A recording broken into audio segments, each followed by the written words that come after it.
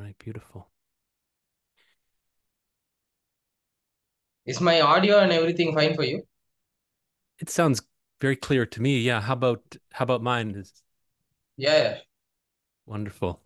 Your camera's a bit shaky, or I guess I guess you're using your cell phone or something. Yeah. Oh yeah. Maybe you can set it up on a tripod or something. Then that that'll leave your hands free. Nope. No, you you don't have anything. eh? Okay. No problem. Okay, well, uh, uh, maybe I'll just introduce things a little bit here. I, uh, I, uh, Steve, you came to my attention uh, recently on Reddit. Uh, I was just, I think maybe for the first time, I was browsing through the uh, debate a vegan um, subreddit and uh, uh, saw your post where you, where you were where you were expressing your view, which I'll I'll let you uh, express in a moment, but um, you explained um, to the subreddit that you were at one point a vegan, but your views have changed on that. Um, I guess you share with vegans, with with you know what are called ethical vegans, people who are vegan for ethical reasons as opposed to merely dietary. Um, you share with ethical vegans a concern for uh, suffering, you know, animal suffering or suffering in general, including animal suffering. And uh, you came to the conclusion that if the if the aim is to minimize suffering, then veganism is not, you know, a necessarily uh, a necessary um, Diet dietary implications. So um, yeah, we can. We'll. I'm sure we'll definitely talk about that. Um, maybe that was because of the context in which I met you online. Uh, that's part of the premise for us uh, chatting today. I'm, I'm definitely very curious to hear your view. I mean, I'm I'm open in principle, um, partly because we have that basic common ground. I called it the common ground of ahimsa, you know, do, doing no harm or doing as little harm as possible. I think that's what maybe is driving both of us, and uh, definitely curious to hear some of your um, reasoning for your position. I also, um, when when when I, uh, you know, I looked at your uh, YouTube channel or the YouTube channel you're associated with. Um, I did watch your video on the the big red button scenario, um, which um, I was hoping we could talk about today too. I think it's it's it's something I've thought about a little bit, maybe not as much as you have, but um, something I think we'll all be thinking about uh, increasingly in the coming years and decades. Um, so it's it's a fresh problem. I, I confess sometimes I get a little uh, tired talking about veganism just because it's. I mean, I've been vegan for um, decades now, a little bit off and on, but basically, and um, and one reason that I thought it'd be interesting to talk to you is you've got a you've got a take on veganism, which is rare out there. You know, um, I mean, the typical um, criticisms of vegans, veganism one one encounters come from people who haven't been vegan and have never been particularly sympathetic to veganism. So yours comes from an interesting place. So I thought it'd be worth talking about. Um, but yeah, certainly connected to that, I'd love to. Um, maybe you could explain for the audience, you know, what this big red button scenario is, and we could chat about that a little bit too, because I think that'll really help people understand just how radical um, your your position is. So um, I don't know where you want to start. We could, I mean, I think whichever place we start from, we'll get to the other place. So we could start uh, with the big red button. You could explain to us what that what that's all about and what your response to the red button is, or we could start start right away talking about your history with veganism. Um, I'll let you uh, take it from here, Steve. Okay.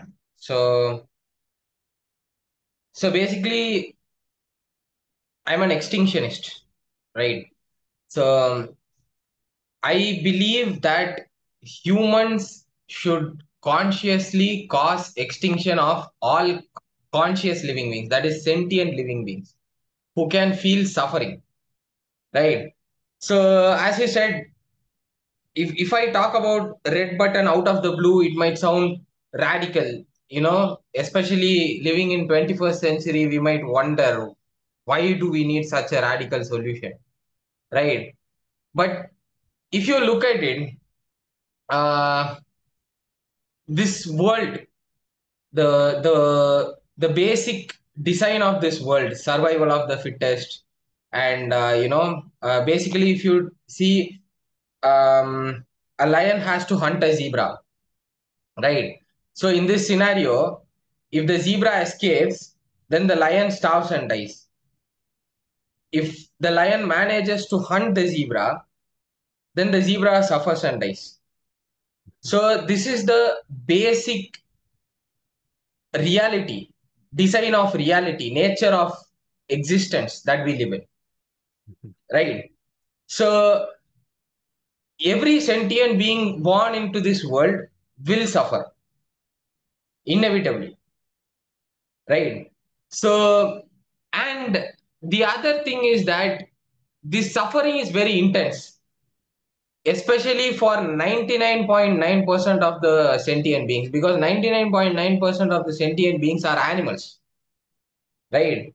So they either suffer in let's say um, at the hands of humans right? Farms slaughterhouses etc etc or in nature right? So these animals unlike us they they don't have anything. They they have to suffer. So they, they can't defend themselves from diseases. They cannot uh, you know get out of predation right? So if you want you can choose to be a herbivore but a lion cannot right? Mhm. and you basically cannot blame a lion for it for being a carnivore right and um, you know you can't blame the zebra for trying to escape right? So basically we have a sadistic existence which forces organisms to suffer right? So the other thing is that um, atheism is something that is increasing a lot in society right so theists believe that god has a grand plan and uh, you know uh, life is meaningful blah blah blah. But in 21st century um, we can't really believe in god right? So yeah we, we can discuss about it if you are a theist but basically i don't believe in magic right? So everything is uh, a set of physical laws and nothing cannot exist beyond those Mhm. so and even if you believe in a god you just take a child who is you know uh, stuck in a pedophile's basement who is raped every day who doesn't have the chance to escape why do you think a god is not helping that child Mhm. Right? So what what harm did children animals ever do to deserve getting raped getting ripped apart alive? Right? These these are innocent beings we are talking about. Right? So so what i'm trying to say is that there is no grand plan there is no pur- purpose or there is no point in all of this suffering right? So if you do get a red button right if you if you press uh, press it the whole universe will disappear. You have to ethically press it right? So if you don't press it it means that because of your privilege because maybe your life is good or maybe you are enjoying some privileges you are aiming to continue the suffering of the intense suffering that these beings are going through Mhm. right so i would say it is an ethical obligation to press this red button Mhm. Right. since this existence is sadistic and pointless what do, what do you do basically with a pointless uh, negative experience you eradicate it right Yeah. yeah Yeah. Oh, thanks. Yeah, that was pretty clear. Uh, I guess uh, based on just the way you concluded there, I, I, the thought that's in my head right now is whether it's fair to characterize existence um, as sadistic. Um, now, that might have been slightly colorful language you're using. I, I mean, if you're non-theist, then of course, in some sense, in some strict sense, uh, existence isn't sadistic, which implies something higher than life is taking pleasure in uh, torturing life. It's it's it, it but uh, you can take it as a figure of speech. Right. I gotcha, I, I don't I, I don't believe in a conscious see even atheists sometimes believe in uh, you know nature as if it was a conscious entity, but I don't. Yeah. Gotcha. Okay, so it's a figure of speech, but uh, so instead of, it's it, right. basically it's cruel, it's bad. Gotcha. So the, then the, then the question is is more strictly just the question of what the uh, sort of we could say net value of existence is on Earth as we know it. Um, um, and your judgment is that it's radically negative, right? Radically in the negative. And I guess there's, I mean, that's an empirical question. Maybe it's the most important empirical question we could uh, ever contemplate. You know, what's the, what's the net value of of life? I mean, among all sentient creatures. And this is where I think uh, most people go wrong.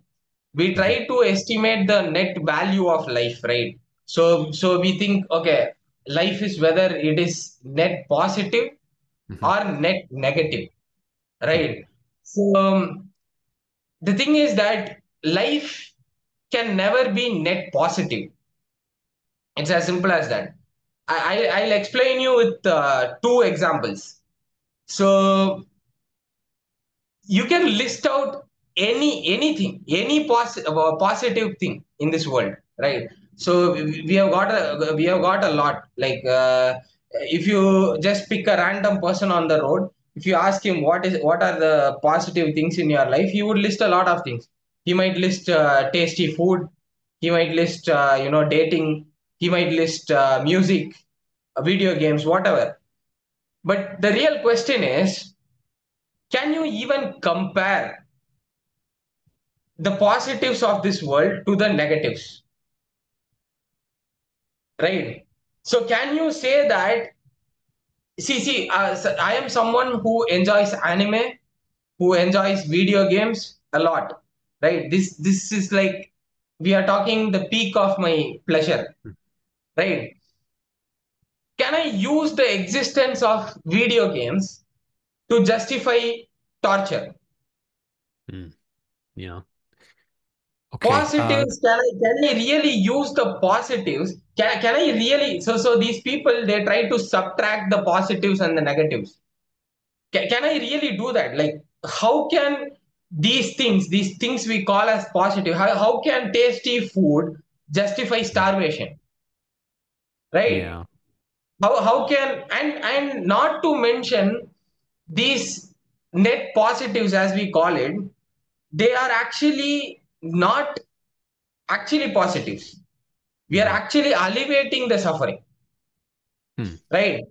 For example, you, you might like a food, a dish. Let's say you like falafels, right? So if you, if you even if it's the most favorite food of yours, if you are full, if your stomach is full, if you are not hungry, right, you can't eat them you'll vomit mm-hmm. if you are full. You, you'll vomit at the side. You might have experienced it, right? If your if your stomach is too full, whatever food pics I show you, you'll vomit at the sight of it. Mm-hmm. Right? So only when hunger exists, tasty food can exist. Right? So pain is always uh, uh, pleasure is always uh, alleviation of pain. So, so I get bored. That is some suffering. So to alleviate it, I am watching anime. I'm playing video games, right? And if I am capable of suffering, right? Always there will be some people who are deprived of it. Yes. So even if if you say in in this world 99 people exist sorry 100 people exist and 99 people are experiencing net positive life one of them is starving Mhm. still we should give importance to that one person who is starving and Mhm. we should press the red button Okay, I think I've got a better sense of where you're coming from then. I um seems um there are a couple things going on there. I think you you began implying maybe there was a kind of incommensurability, you know, philosophers call it between uh, positive and negative experiences, meaning they they can't be uh, calculated within a sort of consistent va- i ass- agree assignation of values. Um, I guess, or or or less radically, maybe you you could say that the disvalue of suffering is so intense that it radically outweighs the positives we could we could typ- typically name, and uh, uh, that I guess the former point would be a, a like a philosophical logical uh, point, and the uh, latter point would be a little more empirical. It would be something we could maybe um, investigate as as you were by giving sort of examplings. You know, you talked about anime and uh, the suffer suffering of starvation, and how you'd weight the uh, interests of the 99 against the one. Um, personally, I find it hard to uh, know exactly how to weight these things. So if I had the red button, I would at least uh, hesitate an awful long time because of some uncertainty I have about how to assign these values. But let me let me um, assuming I haven't made any grave errors in uh, summarizing or drawing at least some some of your points out there. Um, maybe push back a little bit. What what about a kind of behaviorist or behavioral criterion of value where I guess you can ask an informed adult, someone who's had some experience of the ups and downs of, life, whether they'd want to continue uh, on the assumption that there'd be roughly the same uh, variety of pains and pleasures, sufferings and joys that they've experienced so far.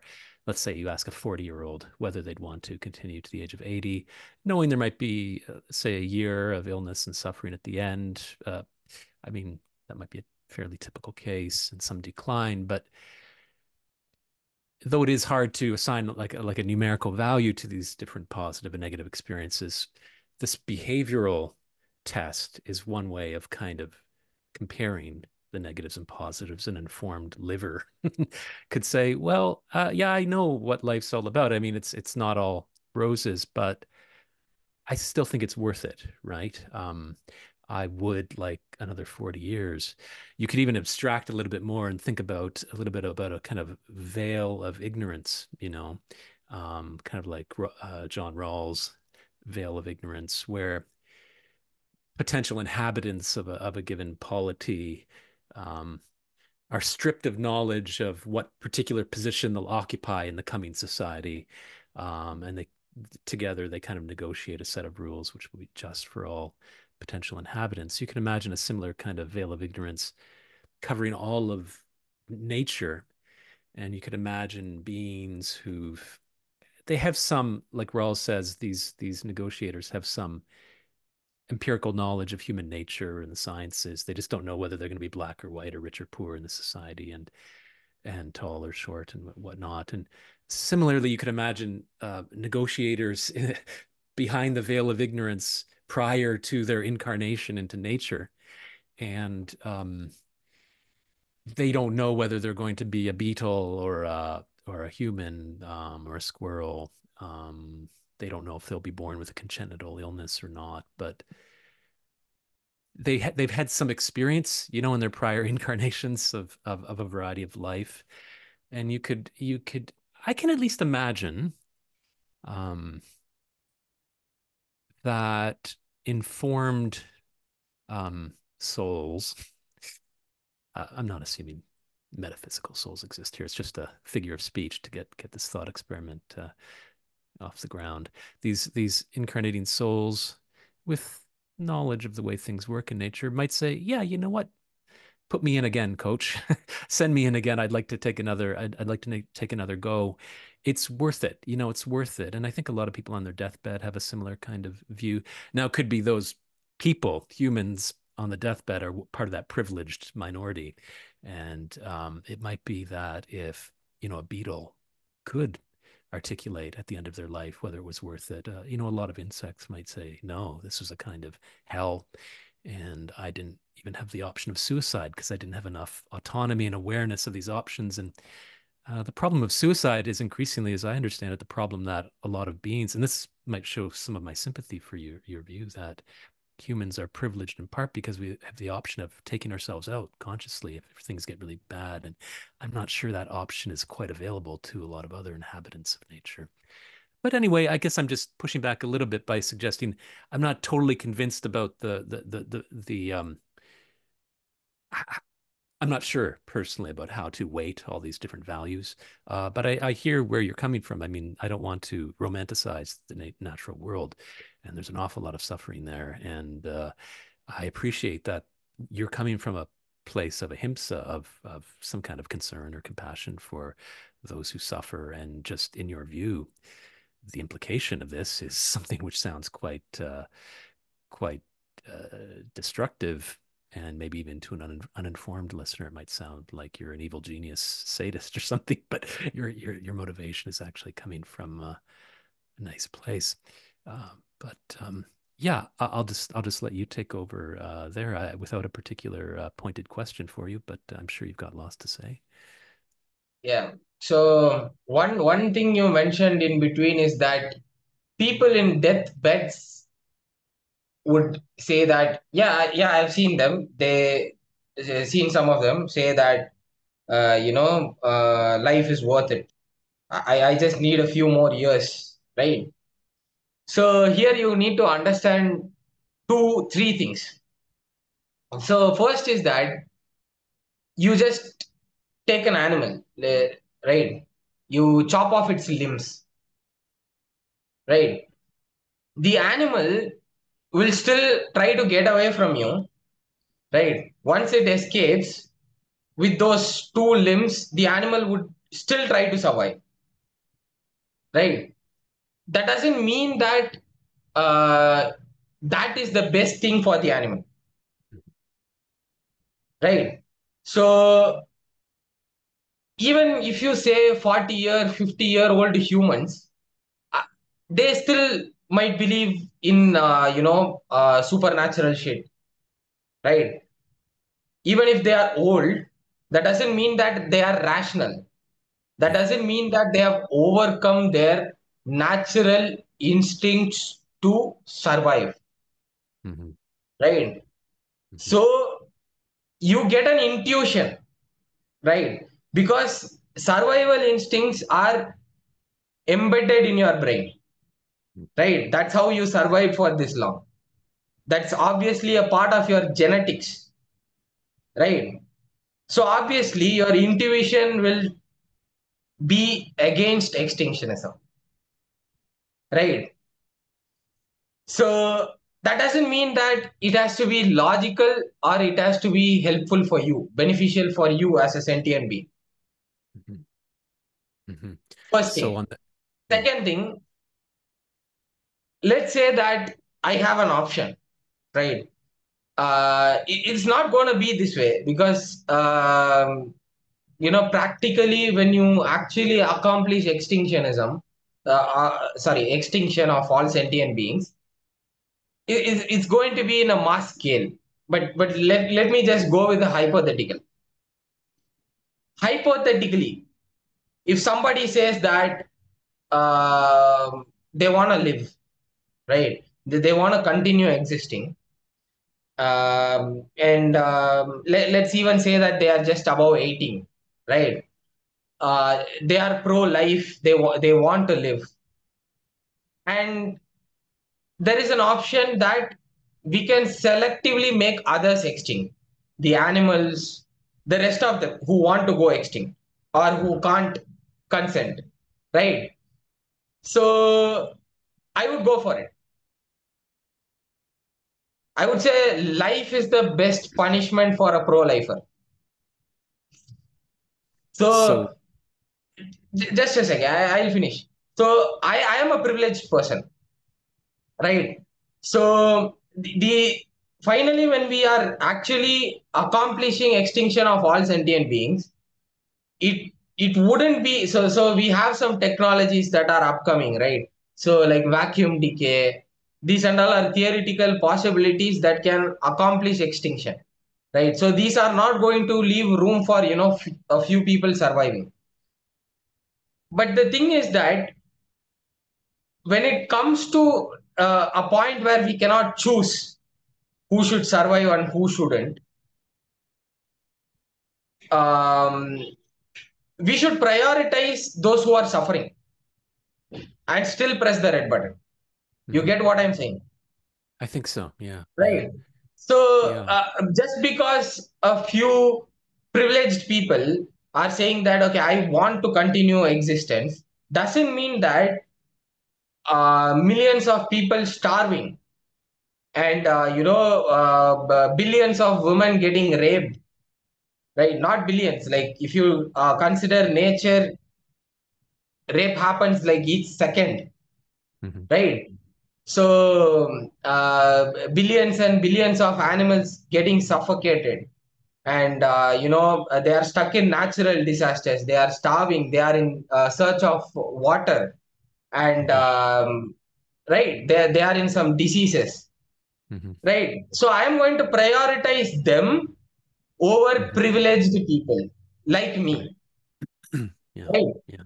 Uh, one, one guy is saying that okay okay i want to finish one piece so i have to con- uh, continue this existence full of rapes and uh, you know torture and natural disasters and diseases this, uh, does this statement sound ethical to you I guess again, it depends a bit on. Um, I still think net net value is important here. I mean, I, I I'm I'm okay with the idea of prioritizing elimination of suffering, you know, over correlative gains and um, pleasure or or happiness. Um, our priority should be on eliminating bad things over um, maximizing good things. I, I think suffering is very bad. um, and uh, but I guess just the the question of what to do with that red button. Um, in principle, I'm still quite unsure, and I hope in practice I would I would hesitate. It partly has to do with, I guess, some kind of implied consent criterion and competence, you know, on behalf of all those animals. I don't even I don't I don't have enough sort of zoological understanding of the insect world to to to know how it all balances out. I, I mean, I'm aware of r-selection and, and all the horrors implied in that ratio of, you know, the wastefulness of nature in the way it reproduces and all the suffering of the young who are sort of cast aside in natural selection. That r-selection kind of strategy might give you good reason to to think the net value of, say, insect life um, and a lot of small animal life might be heavily weighted to the negative. But there's just there's just yeah. Um, Here, here's another uh, maybe. Um, I mean, rather than trying to respond directly to each each thing you said, we could talk again about the deathbed. um, I mean, you have a particular portrait of what's going on on the deathbed there. Um, it's interesting. I mean, I th I think I agree that a portion of what's happening when someone says on their deathbed that they do it all again, it's just it's a transference um, or transposition of the survival instinct into this um, instead of instead of transposed into a future which they know they no longer have, they're projecting it back onto their past. It's it's it's an interesting idea, and I think there's something to it. I don't know if it totally explains, you know, um, an informed judgment on a deathbed that they would do it all again. I think some of that judgment or some of those judges um, would would be fairly rationally making an assessment about the, the, the net value of their 80 years on Earth or whatever. Um, and they're not just it's not it can't be completely reduced to um, a kind of sub-rational impetus of the survival instinct. But uh, we, we can talk more about that if you want. But I I was wondering, um, trying to keep God, I I'm happy to keep God out of the picture as much as possible. I wouldn't personally identify confidently as a theist, but I'm open to some metaphysical extravagance in my worldview and and the weird and wonderful, um, even if there's not a traditional theistic God who's uh, omnipresent and eternal. I I think the universe is a big enough place um, that just just given natural selection, um, technological civilizations could achieve pretty extraordinary abilities, um, kind of like Arthur C. Clarke's godlike aliens. You know, um, in in the vast reaches of, species history, it could it could it could attain what would be functionally to us a kind of godlike status and have some control over increasing scales of planets and solar systems and even universes. I, I don't know. I mean, um, but but for now, maybe keeping gods out of the, well, keep keeping the um, you know theist traditional theistic perfect being out of the picture at least. What do you what do you say to this? Um, granted, you know, we've had 500 million years of of the nervous system here on Earth, and it's been a bit of a horror show. You know, I mean, it's it's um, um, there's the great slaughter bench of history. I mean, it's been hard. You could you could you could uh, do a kind of you know worst of compilation on YouTube or something and show those 500 million years in a pretty horrific light, which would impel a lot of people to want to push that red button. But I mean, perhaps there's been a kind of progress, especially maybe recently in the case of of human of humans, where we're gaining a competence to control our environment and control our future and mitigate some of those horrors. And we're also gaining an ability to morally universalize and and um, take a kind of stewardship role over over the earth. And I guess my one of my concerns about the red button, one of the things which might lead me to hesitate is that I would feel like maybe I don't have the right to do this because maybe there's there's some some arc here that we're on, and if we push the red button, that makes those 500 million years of suffering worthless, right? It didn't cash out in the end. If let's say we're 200 years away or 2000 years away or even 2 million years away from I don't want to say like paradise on earth, you know, like the Isaiah, you know, lying laying down with lamb and you know, Eden at the end of time or anything like like that. Um, but something a lot better than what we've seen so far. I guess if if if we we can end up somewhere fairly positive, um, you wouldn't want to push the red button so late in the game, right? The red button then becomes a kind of temptation which arises maybe only late in the game, right? It, it arises only in the purview of a very intelligent, competent species who has begun to morally universalize and think about these cause existential questions. And that that you know, so the point in history at which a red button becomes available, both in thought experiment and in reality, is maybe a point when you're at least potentially close in the arc of an ecosystem's progress to to something pretty good relative to what's happened so far and then you push the red button and and we've got to maybe maybe life will inevitably you know given natural selection just start again from the ground up again. And it's better to let it play out a little bit and then you get this uh you know cosmic benign alien or something. I don't know. Uh, i mean we're getting into sci-fi ter- territory here but i'll let you uh maybe take it from there. Okay. So um, first of all um, the we shouldn't have an attitude that okay we have uh, su- suffered this much and it has to cash into something right? So um actually we know that reality is meaningless right? So um i mean um let's say that uh, you know you become a teacher right?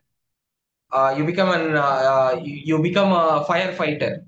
Ultimately what you have accomplished you have uh, ran around this world pointlessly and you have died. And it cashed into nothing.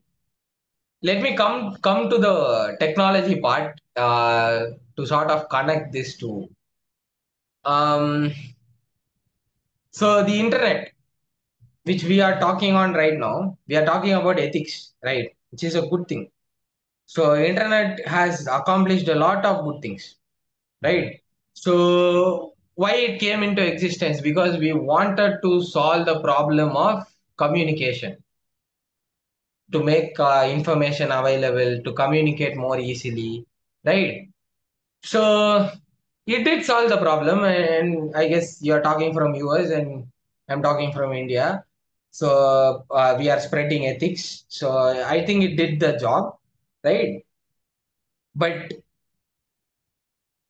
after solving these problems, we also have a dark side of the internet, hmm right? So there is something called it's it's literally a dark net, right? Where people do crimes, they upload videos of uh, child pornography they upload videos of uh, uh, you know uh, animals getting tortured so that sadists can watch it and get off of it. Right? So whatever humans you are you are thinking that you are taking something into control right? But it's actually not the case. Whatever you invent whatever uh, even you take that uh, take an example of uh, social justice movement. No need for technology. You say uh, animal rights right? After you liberate all the animals it means that reforestation is going to happen. Right? So animals are going to suffer in nature. So instead of farmed animal suffering we just took the suffering and transferred it to the wild animals. Hmm So, whatever technology or social reforms or ethics we invent, we uh, get into this existence, it does not solve suffering. Su- suffering just changes forms. Yeah. But as long as sentient beings exist, suffering will exist. It's So as I, simple as that. yeah, So, no. if you are like uh, saying like again this uh, optimism bias that we have to cash the suffering into something arises from survival instinct. Again optimism uh, is so so you are not a lion right? You are more evolved. So to to keep survival to keep your survival instinct to sustain your survival instinct to defend your survival instinct you are taking optimism as a defense hmm which is not a right thing to do.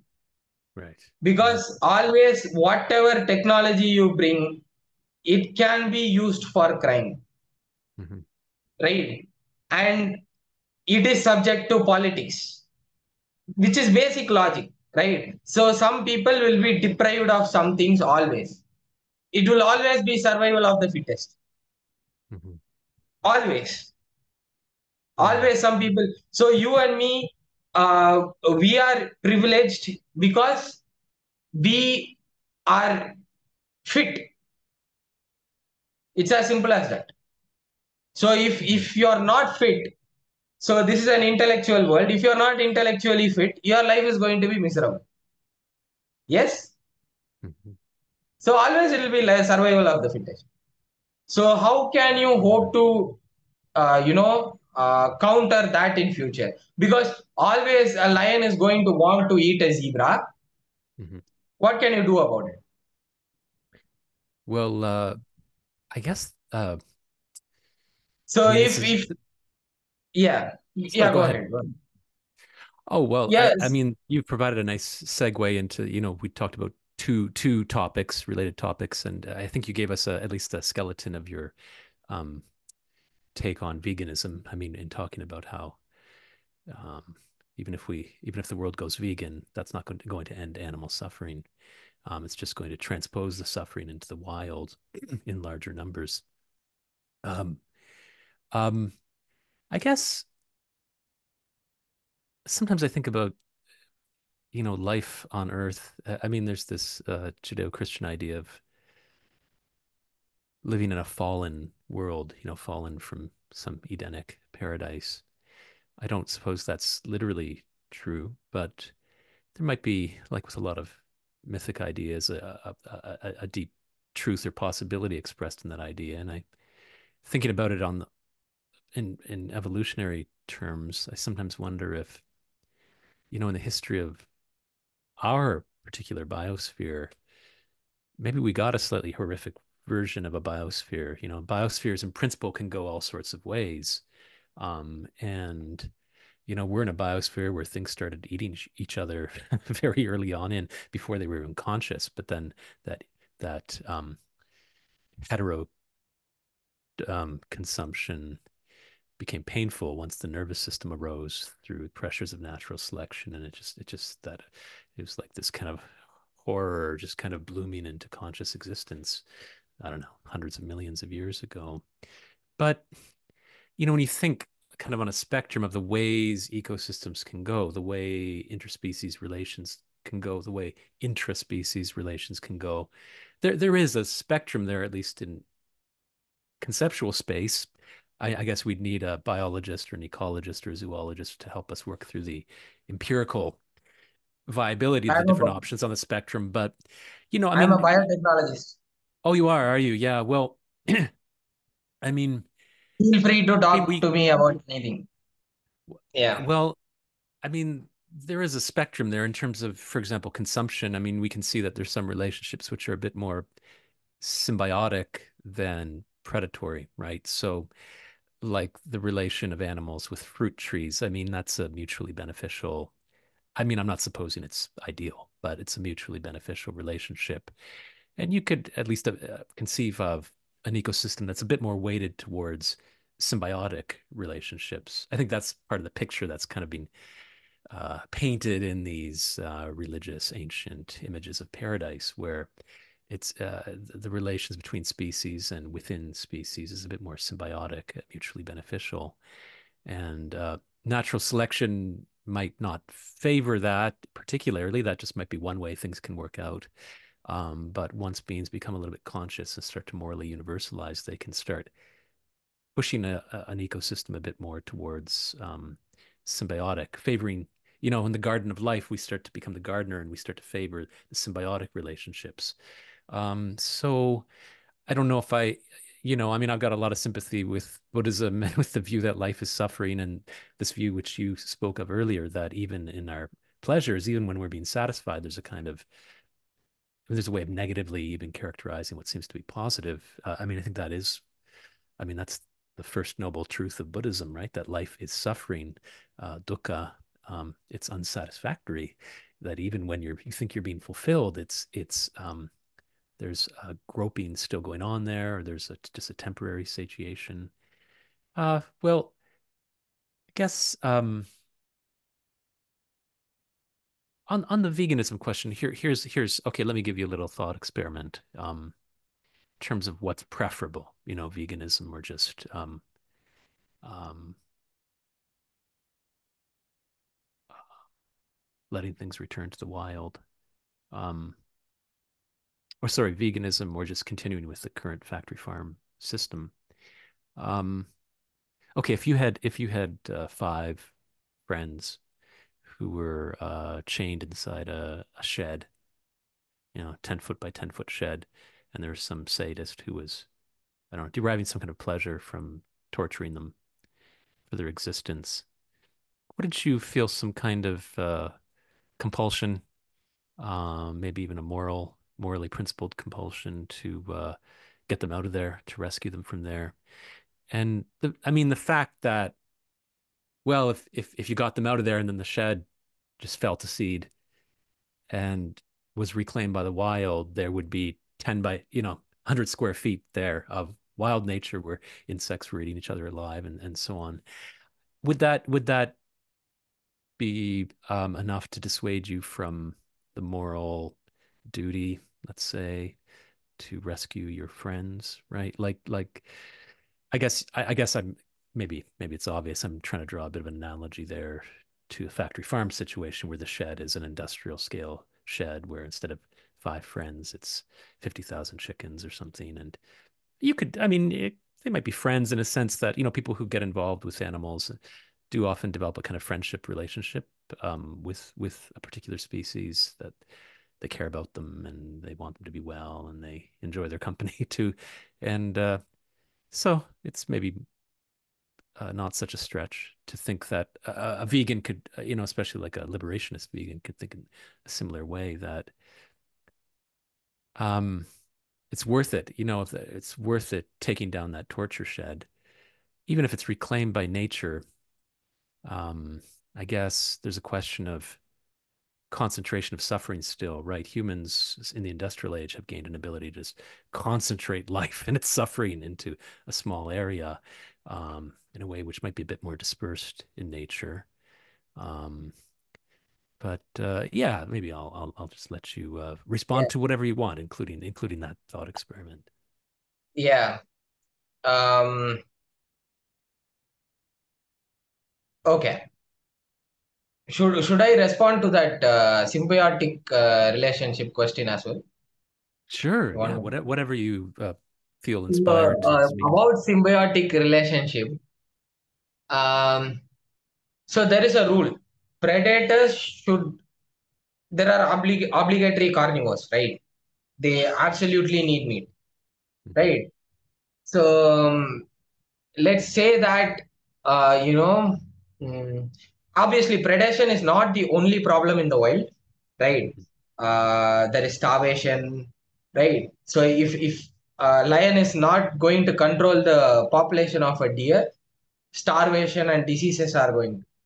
It's as simple as that. So the deer suffers anyway and the lion suffers anyway. So the thing is that let's say a bird eats a berry right? And it takes the seed of the berry far away and it uh, drops it into the soil. That is a symbiotic relationship, right? So in this case, the berry plant doesn't feel pain. You imagine a deer donating a limb or a right? Yeah, yeah. No. Uh, so uh, when it comes to sentient sentience, there will be suffering, and yeah. Uh, there are some uh, birds who sit on bisons, wild boars, and they eat the uh, pests, ticks that infest those animals. It's good for the bison and the wild boar and the bird that is eating the pest. But is, is it good for the pest? Is a question. Right. Right. Right. Yeah. Yeah. So uh, most people they hate uh, you know uh, pests. They think that okay they can be killed I say that, yeah, I, I do hit mosquitoes. I think I hit one right here, right? So that is for self defense, but whether it's a bad event or not can be discussed. If the mosquito is sentient, then it's definitely, if, if it's feeling some sort of a negative stimuli, then it's definitely a bad event. Mm-hmm. Right. So I hope that answers the question of insects as well and there is uh, something called as universal declaration of consciousness which you can read uh, which will give you a better idea of it's not a it's not a research paper. It's it's a direct declaration cambridge universal declaration of consciousness. And uh, maybe when i upload this video in my channel i'll add a link of it. So you can check that about insect consciousness and all. Do they, so obviously do they, do they declare there that insects are likely conscious? What?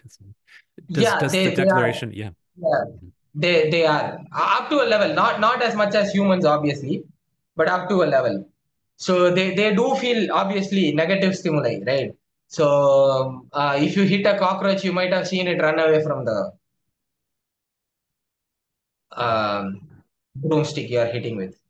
Mm-hmm. So that is one one thing.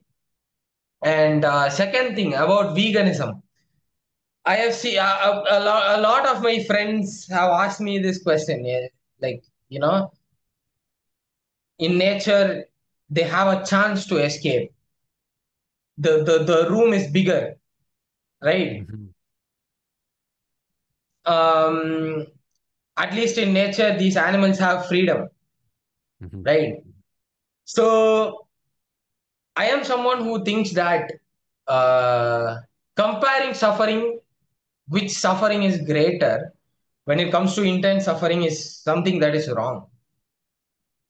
So you cannot say that you know uh, starvation is a bigger suffering than rape. You can't do it. Don't don't compare it. Both are in intense suffering and both deserves to be stopped. First thing. Second thing is that um so so yeah if if uh freedom is a problem in um farms and slaughterhouses uh, in nature it is continuous search for food and water. Tomorrow you cannot be sure whether you will get water or food. Tomorrow you cannot be sure like uh, what disease you are gonna get right. And uh, this um, nature in nature wild animals have a chance to escape from predators is bullshit. Let's say that a deer has a 50-50 chance of escaping a lion. Okay. It gets lucky. It escapes. The lion starves. Let's forget that part for once. Then again uh, there is a 50-50 chance that it will get hunted tomorrow if it gets lucky each and every time finally it's going to be natural death Mhm. that is going to be worse than a slaughterhouse right Yeah. so it's going to take longer Yeah. right Yeah. so um, uh, so so i'm i'm not saying that uh, you, you know uh, factory farms are uh, lower suffering than nature or nature is more suffering than uh, factory farms but Mhm. i'm saying that it is pointless to fight which suffering is greater both should be eradicated and for Yeah. both extinction is the solution right Well, uh, mhm. Um, yeah, I mean, I admire your uh, hatred of suffering, if I can call it that. I mean, I, I again, I'm sympathetic with this view that it's such a bad thing that it's almost indecent to try to compare. You, you said rape versus starvation. I, I do wonder if, again, a sort of behaviorist criterion of comparison could be could be argued for, where someone who's had experience of both, you know, starvation and rape, might still, I mean, while can that both are terrible, uh, what is what is this behaviorism? I, I just uh sorry, sorry to clarify, I just mean that um you you can make a conclusion, I guess, about which is worse between A and B based on what informed agents would tend to choose between them. So someone who's had a- an informed agent here would be someone who's had experience of both starvation and rape. And if if if we could show that those who've had both tend to if they have to choose between the two of them, choose starvation, say, I don't know, I don't know. Then I, I you know, as as as hesitant as I so am to compare so these two if, awful if things, veganism if, if veganism requires you to choose between rape and starvation to justify some things uh, isn't it a ba- bad ethics to have I I hear you, I hear you. Yeah, you, you I'm just, I guess, you shouldn't yeah, ask a victim that whether he would choose rape or starvation the thing is that we should declare that both rape and starvation should be eradicated and hence hence extinctionism. Yeah, yeah. yeah Okay, uh, uh, so I, but uh, I was just making maybe the, at least to start with the logical point that they could still be compared. So I, I guess I was just questioning that that premise. But still, if they're both very bad, even if they can be compared, if they're both very bad, extinction, the red button might might be the correct inference from that. Um, you know, I mean, it's it's a very rich empirical question about what would be worse, um, and and how how much worse, if worse, the uh, you know, square mile of factory farm versus the square mile of wild reclaimed nature. you, you, you I again again it depends on a particular uh, circumstance animal farms if you take it it's not just factory farms right you do have free range farms right I so these days I what think they're what a smaller, smaller and smaller what what percentage. Yeah. what vegan uh, vegans tend to do is that they take factory farms and then they compare it to uh, a region of uh, forest where some monkeys live without predators, you know, a lot of food and stuff, Mhm. right? But that is not a right comparison. If you take factory farms, you compare it to a desert. I, I can also uh, make, make uh, I, I can also bring this up as an argument, right? So you, you take a desert region, famine uh, ridden region, drought ridden region, nothing is growing, no food, no water. Animals have to abandon their children, their own children, in order to get to water because children are a burden, Mhm. right? So um, you compare that to a factory farm, right? You then your uh, is is just mentality, right? You you are thinking that um, you know factory farms. You have seen some uh, horrible videos about factory farms, so you are imagining that, and you are imagining a a, a, a, a lush green forest where you know rabbits are playing around happily, right? And I'm not saying that uh, in a lush green forest animals will be happy. You you just take a look at it, and the rabbit babies you can see it will be eaten by ants alive, baby rabbits. Mhm. This does happen very commonly. If you if you are someone who has spent a lot of time in nature, this is a very common thing. Baby animals being eaten by ants Yeah. slowly. This might be highly specific for you. And whatever thing that happens in farms, it happens in nature as well. For example, if you take uh, a rape, it happens in nature. If you take starvation, it happens in nature, right? It does. So the only difference is that uh, you think that animals in nature are free, but it comes along with a price. That is, you have to be in constant uh, search for food and water. You have to be in constant fear of predators. You have to be subject to harsh weathers and uh, natural disasters, forest fires. You you are you are going to burn alive literally if you are if you got stuck, right? Yeah. So it's it's really not a good idea to compare uh, you know factory farms and wild. So so another point I would um, uh, make it clear in my every video uh, about veganism is that I am not someone who supports factory farms. Mhm. I'm just pointing it out to you that uh, both both have both have um, animal suffering, and you shouldn't be a speciesist, right? Mhm.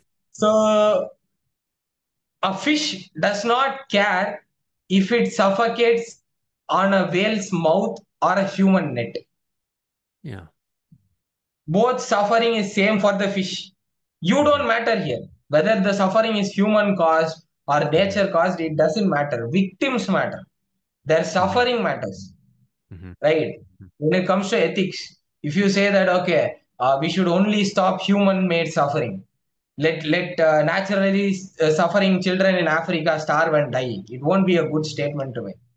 Mhm. Yeah. Yeah. Yeah. Yeah.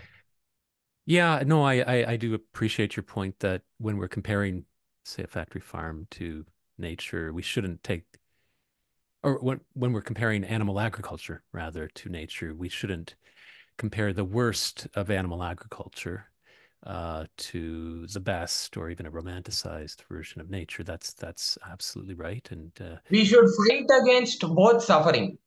It's as simple yeah, as that. Even I, factory farms, um, if you, if you say that these cows, right?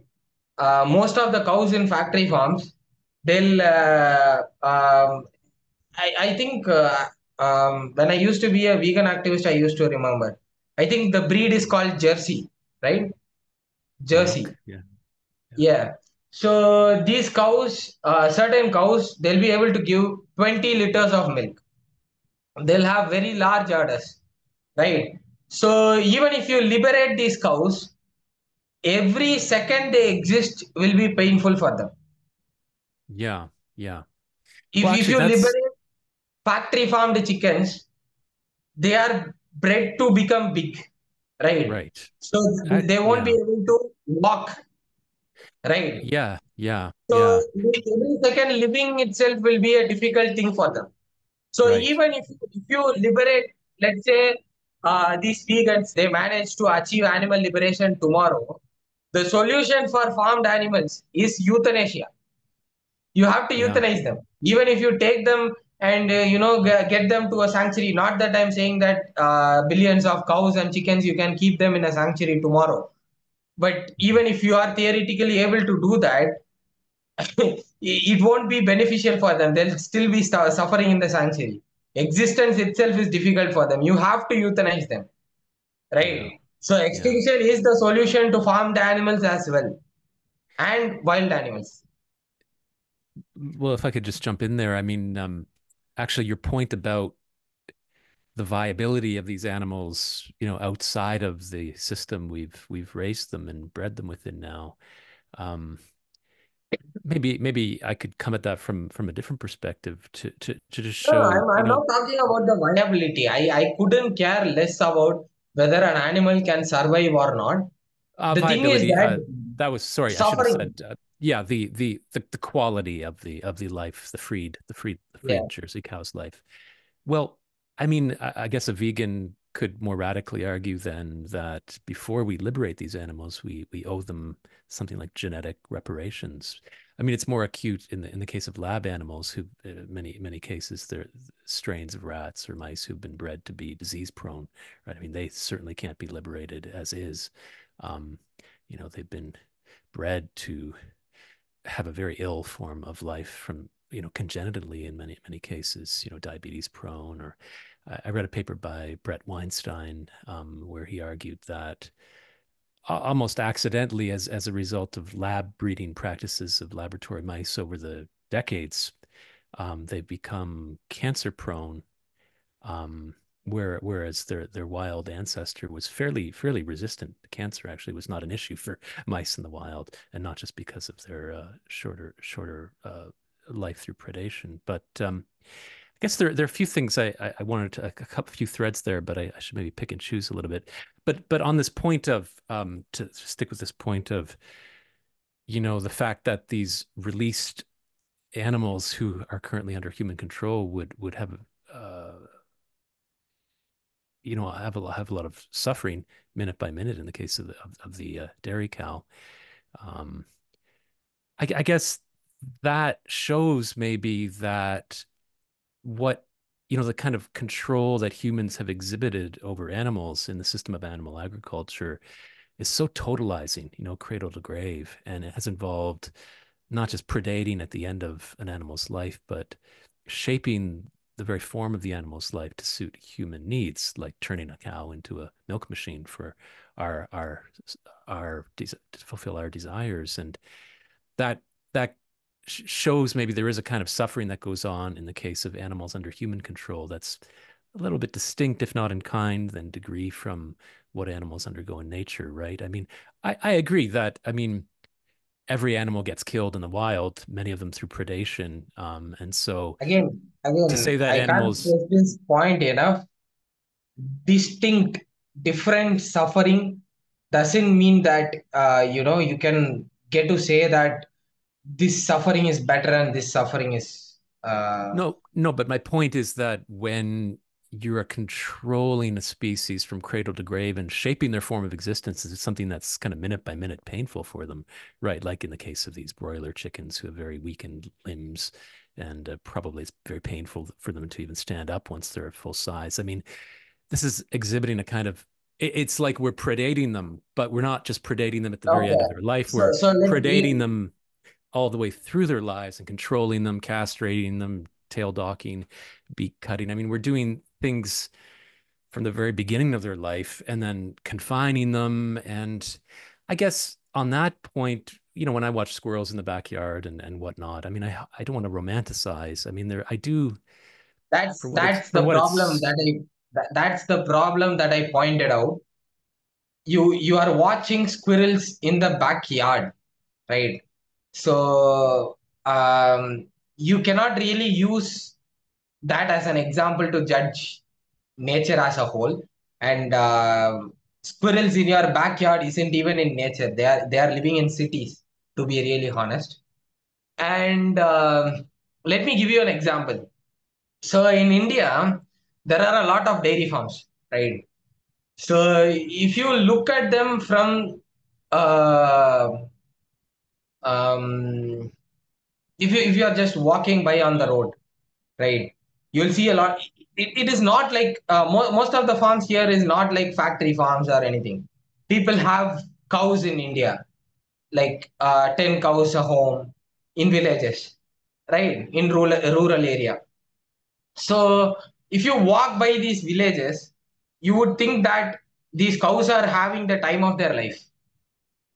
To be really honest, but actually, if you visit them at a particular season, they'll be doing all sorts of cruelty. They'll be doing nose piercing.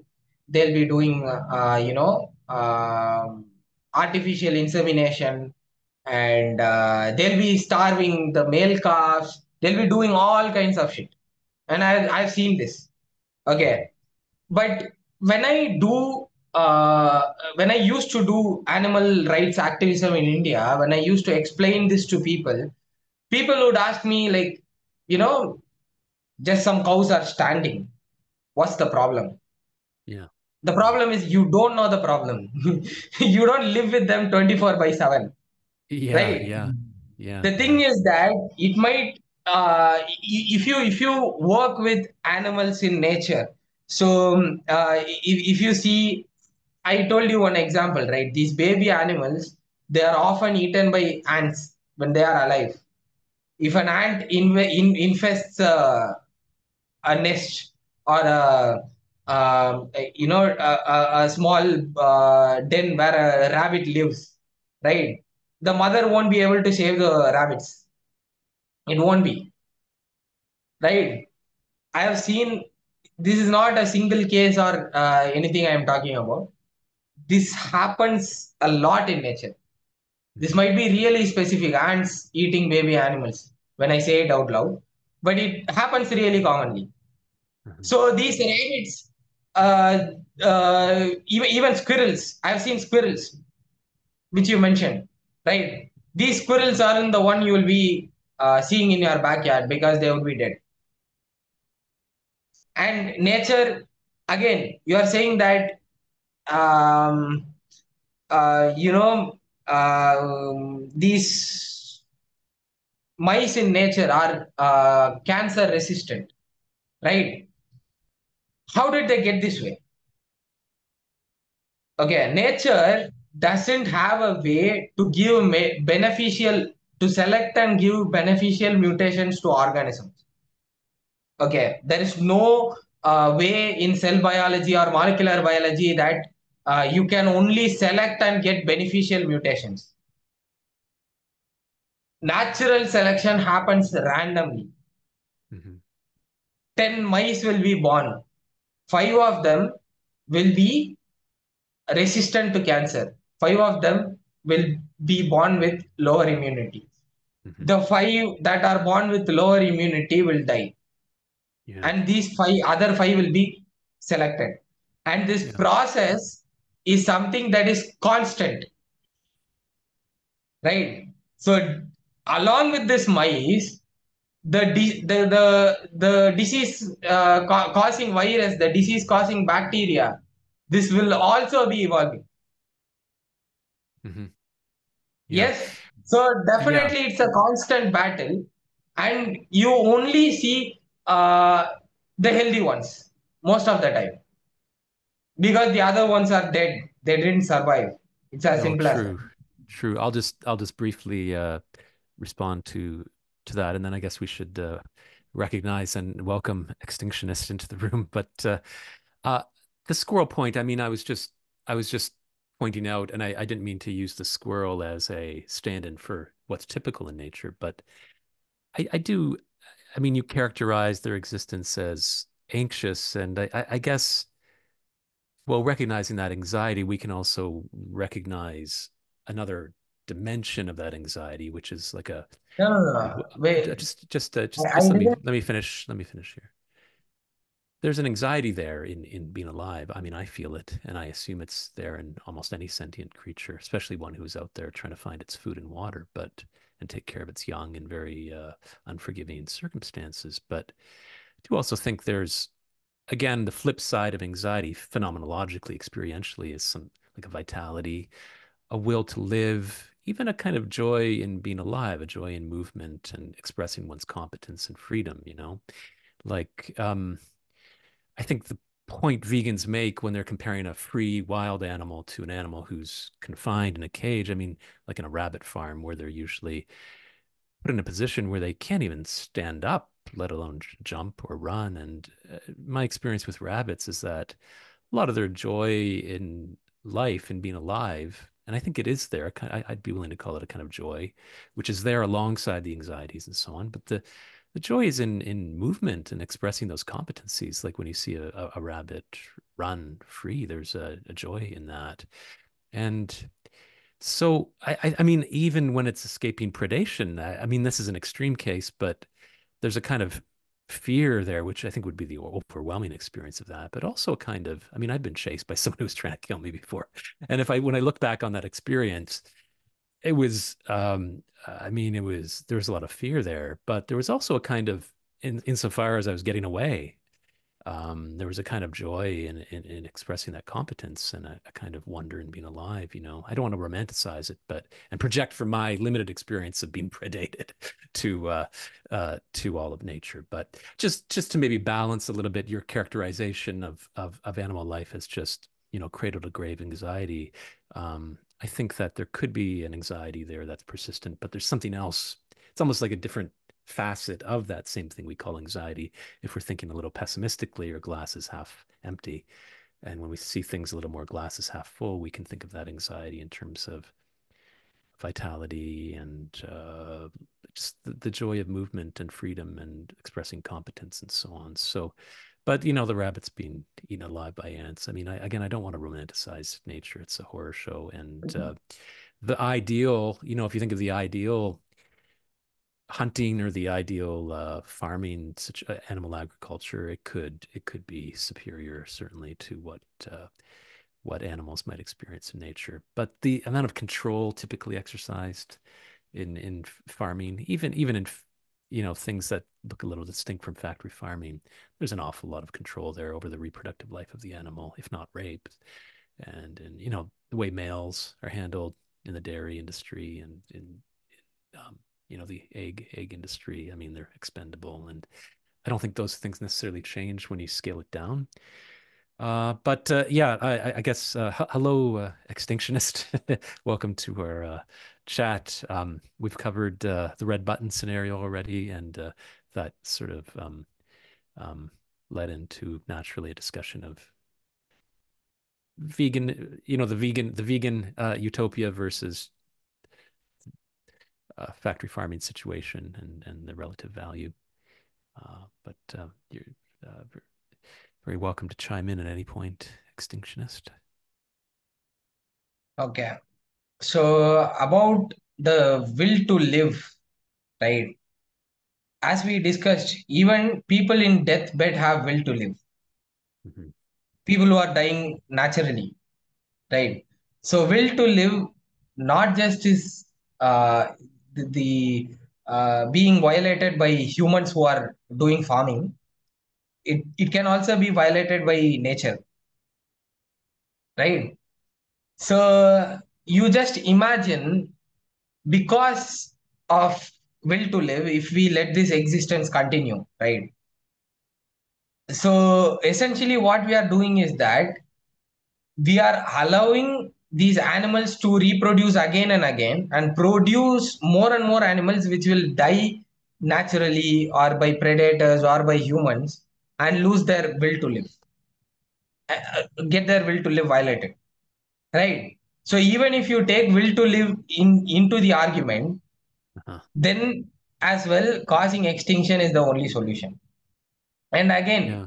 factory farming as you said i have never denied at any point uh, in this video that factory farming is uh, you know something that is uh, uh, uh better than nature or anything my only point is that we shouldn't compare both. Gotcha. Right. Gotcha. Gotcha. Here, if it is uh, genetic modification, there it is natural selection. Everything Mhm. causes suffering.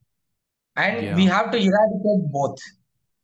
Yeah. And yeah. regarding that joy that you get by escaping a serial killer, you just imagine I don't have a brother or a sister, right?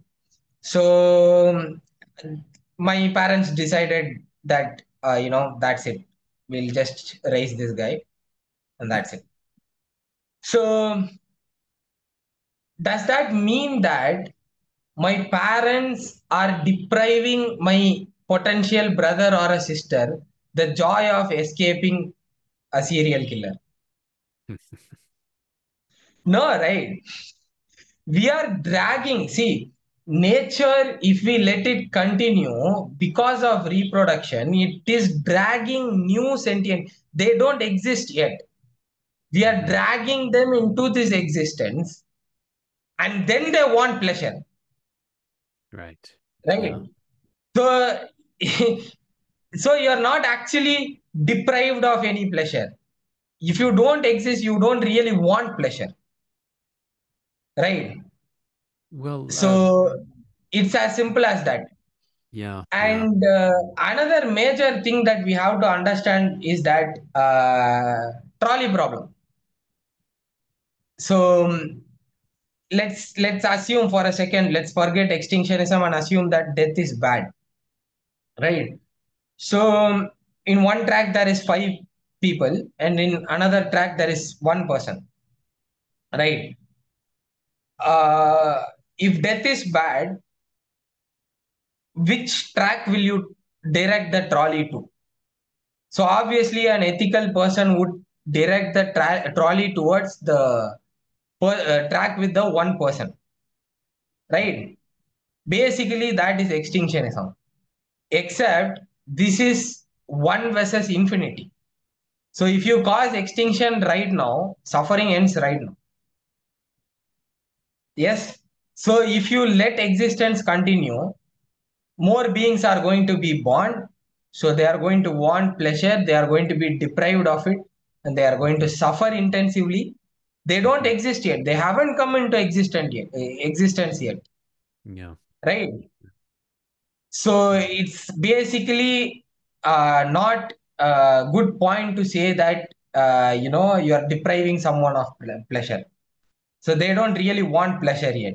But if you come into this existence, there is a chance of intense suffering, which is really, really a bad thing. Nobody deserves to get raped. Nobody deserves to burn alive. Nobody deserves to get a disease like cancer. Nobody, no, no child deserves to starve. Right? Nobody Mhm. get, deserves to get tortured by a sadist or murdered by a serial killer. Nobody Yeah. deserves any of this shit. No, I, I hear you. Yeah.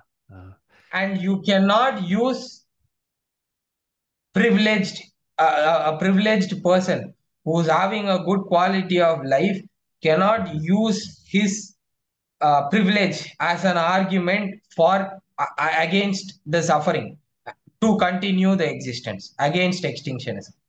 Yeah. It cannot I be hear. done Yeah, I, I hear. I hear you, Yeah. Steve. Uh, I, I still wonder about that uh, veil of ignorance uh, scenario I brought up earlier in a conversation. I just, I, I- I mean, I, I, I just wonder what the judgment of someone uninformed um, soul from behind that veil would say about the prospect of ex- existence. You know, again, it's hard to extract um, from that posited person this um, latent will to survive, which can get transposed in, in, in all sorts of ways. Assumedly, if they've been in that natural world and they have experience of it in a variety of lives in this thought experiment, and now they're deciding whether it's worth incarnating again with the roll of the die, deciding what species you'll be in and what kind of life it'll be. They might be smuggling into their consideration. I, I, I acknowledge um, some transposition of this will to survive, uh, you know, and so nature's endowed them um, against their interests in a sense with a will to survive, and then that that endowment leads them in this uh, from behind this veil of ignorance to say, yeah, throw me in again, put me in again. I'm willing. I know that life can be quite unfair and that bad, very bad things can and will happen to me, but I still think on balance it's it's worth it. I'd rather that with the risk involved than the dark eternal void of non-existence um, for all all all all cosmic time you know? Um i guess there is eternal void. So this is one thing that everybody is afraid of right?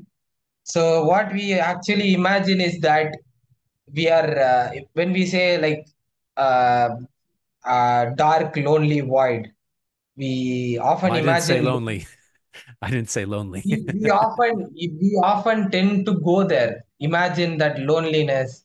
Like yeah. people imagine, okay, them and their thoughts are suspended in some kind of uh, you know, a space going forever and ever and ever.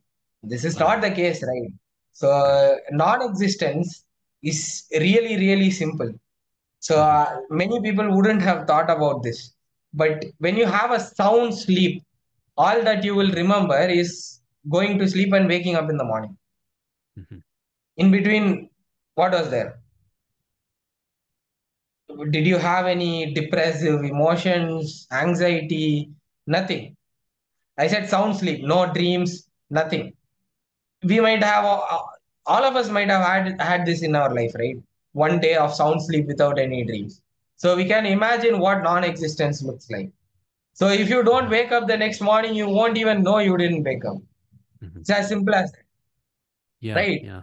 And the other thing is that, uh, again, uh, when it comes to, uh, uh, you know, uh, whether it is worth it, I would like to again make the point, even if 99 people are having pleasure and one person is starving, I would still press the red button. It would be more ethical to still pr- press the red button.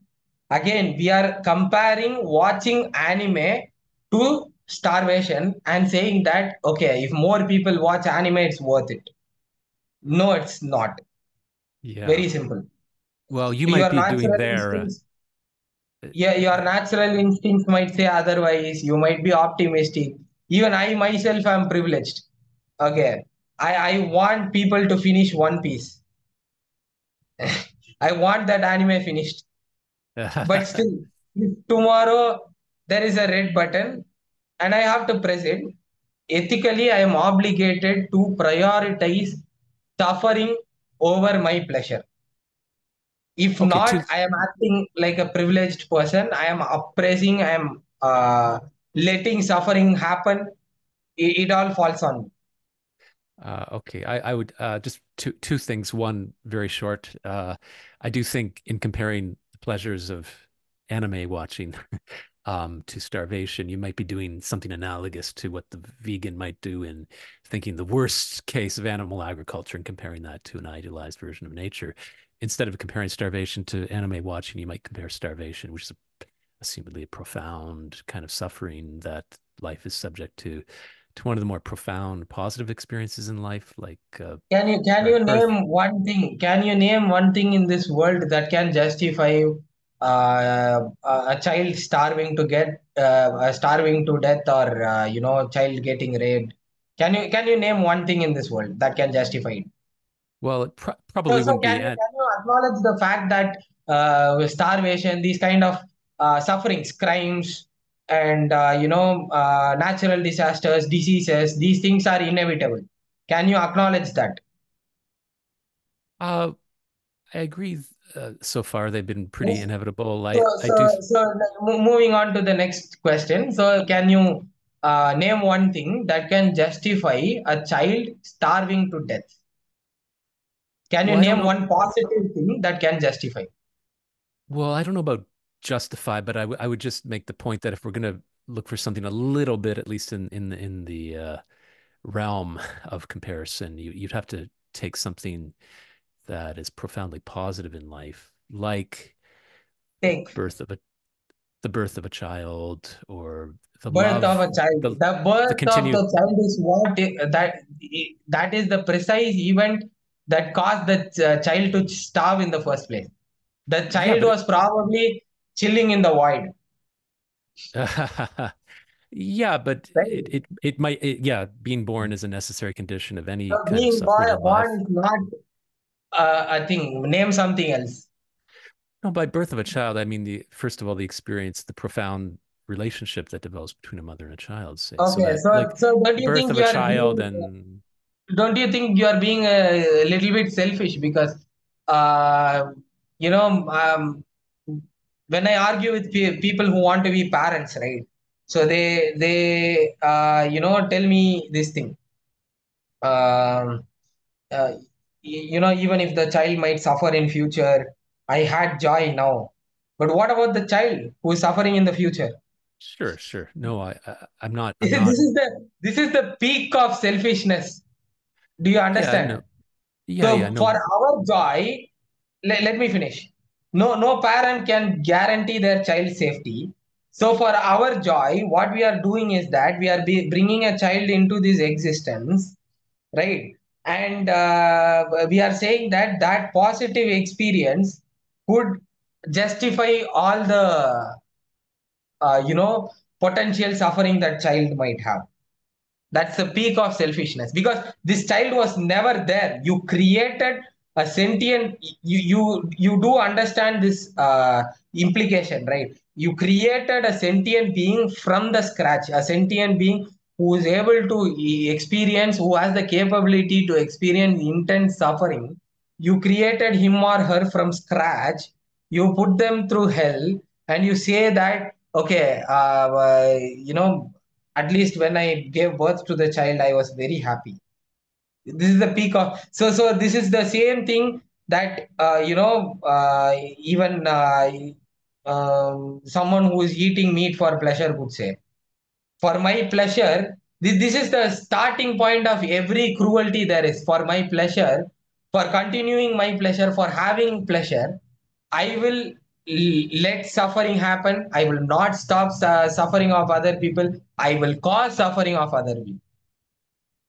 There okay, first of all, you're right. I mean if if if by birth of the child we're just talking about the uh uh, positive experience of the mother for that, apart from the pain of childbirth. Uh, I, I mean, by birth of the child, I mean more the entry of this being into the world and the relationship that creates between the mother and the child. But even if even if we just look at it from the, the, the selfish point of view of the mother's interests, it still is something profound relative to maybe watching anime. Though I don't want to slam aesthetic experience either. They they can be Yeah, but some of our most you just uh, can just just just just just just a sec, just a sec. Let me work this out a little bit. So, but moving out from the mother's own selfish interests too, I, you know, I mean, I think there are selfish parents out there for sure, and and probably every conscious act of parenting um, or bringing children into existence involves some selfish thinking or just not thinking at all. But but I, I do think there are a lot of people out there who, when they have children, they're they're doing it not just because they want the pleasure of this relationship, you know, in the same way that someone might get a cuddly pet because they're lonely. It's it's that they think life is worth living and they want someone else to have that experience and they want to almost like cultivate a particular version of that experience based on what they've learned about life in their own children, you know. Um, I mean, there's a kind of utopian program almost in in having children in some cases where you recognize there are a lot of problems in the world, See, most think, most people most people have children because of societal compulsion. They want to prove their fertility. They want to have the joy of parenting. Let's say a, a, a very small minority wants uh, to have children because they want their children to experience uh, what life has to offer. Then that just means that they are optimism biased it's a fact that no parent, no parent in this whole wide world can guarantee their child's safety. It is a fact, yeah, right? yeah, So childbirth is a lottery. It's as simple as that. So so my life is good up till now. Whether it continues or not, tomorrow whether I get murdered by a serial killer, there is always a chance, right? So I cannot say that. So even that minority of people who give birth to children because you know they want their children to experience pleasure or whatever delusions they might have. They also do it because of optimism bias. That is not a right thing to do. I, I guess so and another thing is um which you told about that uh, okay yeah motherly love. You can say it's more profound okay but I would still, uh, you know, I, I would still prefer watching anime. That is, as already I told you, this this is a subjective thing. For me, watching anime is sometimes it's more pleasurable than uh, you know something like uh, tasty food or sex. It's as simple as that. So it, it's a subjective thing. Let's say that okay, it's more profound. Um, a girl, a a little girl is being raped, right? Uh, her mother couldn't protect that girl. Okay, probably the mother is al- also a victim. Can you go to this girl and say that, but hey, at least your mom loves you? You can't do that. well, You can't do so, that. sort of can. I mean, I wouldn't I wouldn't do it uh, right away, but the, in a the thing is sense, that yeah, you wouldn't do it right away. The thing is that whatever uh, obviously, so even if you take uh, some animals, they exhibit a lot of motherly love right? So I have I have some stray dogs over here in my uh, street, and uh, they take care of their babies. They they they cry. They literally howl, start howling when one of their babies die. Obviously, motherly love is there, but what can that? What is that mother able to do with that motherly love? The child died. It's it's not worth anything. You dragged someone into this existence. They get raped they get killed and they and you say that okay at least your mother loves you. Your mother loving you came from evolution. The mothers who took care of their children they were able to protect their species better. It is again a part of survival. It wasn't given to you so that you can enjoy your life nature doesn't care about you. Nature doesn't care about your suffering. Nature all nature wants is that uh, again i'm not saying nature is conscious. It's a figure of speech. So all, all that nature is going for is that replication of dna it's as simple as that. Whatever it gives you it doesn't mean it is beneficial for you. It's as simple as that.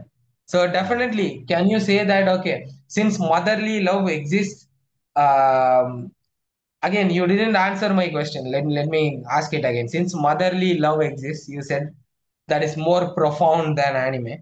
So, can it justify children getting raped or uh, children starving to death or diseases like cancer? Can it justify anything? Can, can you say that since motherly love exists, these things can continue? Because if you say that life can continue because of motherly love, you, you are saying that these things are, can also continue.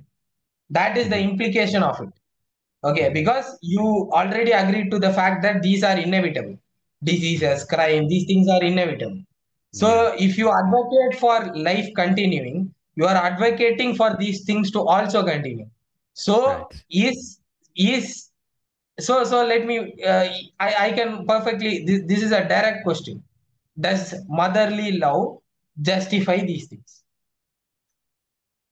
Fair question. I it does seem like it's even with that particular example, you know, motherly love versus child getting raped and killed, that I mean that that's that's apparently a stand-in for the larger question of the balance of bad things to good things, both profound and trivial on both sides. I guess it, it does seem like it's a partly empirical psychological question, you know, and I'm not sure uh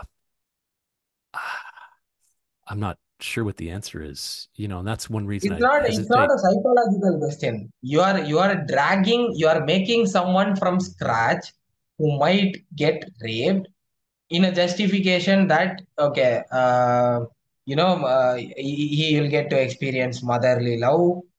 Uh, for me, I would tell you, I I to- I already told you, motherly love is not a big de- big, big deal for me. I, I don't care. Even if my mom loves me or not, I don't care. Yeah, no, the For me, empirical peak of my question, peak of my pleasure is meh, it's it's really subjective.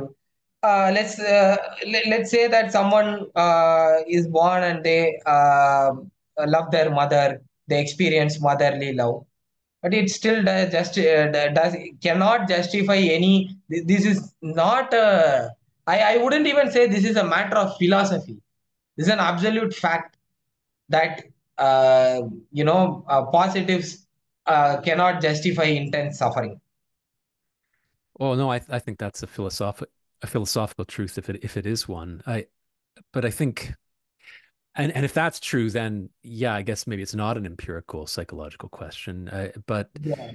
to, to I, me, yeah, just just sec. Let me uh, let me let me uh, just let me just make my point here, so you know where I'm coming from. Um, it's an empirical psychological question in that we're we're way we're comparing things, right? And so the question is, how bad experientially are the various things? And in fact, you know, what's the ratio of the bad things to the good things? So it's it's a vast empirical question, especially if we're asking about all of nature, not just within a single life or dyad of of, of human uh, relationship. But um, I guess you know, nature. To your point about nature endowing us with this will to survive, and nature not caring natural selection, not not care not caring about whether we enjoy life or not. I I take your point that natural selection is indifferent to our well-being, um, but um, in effect, it endows us with um,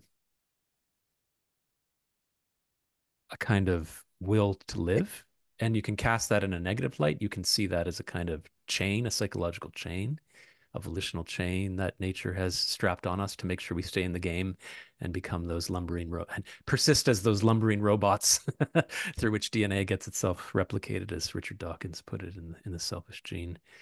But you could also, again, it's it's to me, it does seem like it's a bit of a glass half full, half empty question where you could you can see it as a chain, but you could also see it as nature, though not intrinsically caring about whether we enjoy life or not, has in effect made us animals really into life you know? So once it's it's it's it's beings who are really into life um tend to stick around and tend to reproduce. And and so i think in effect though nature didn't care about whether we enjoy life or not has created an, an animal life as part of the picture as part of the complex psychological picture of what it's like to be alive beings who are really into it. And and um you can say um it's not in their interest to to um okay. Here, is where But you are that's uh, that's hard to uh hard to assess. Once they're into it, they're into it, you know. And again, zooming back to that veil of ignorance scenario, where it, it's it's like to me, I'm still wondering what the correct answer would be behind that veil of ignorance, where you're asked, "Do you want to do it again?" And I can imagine,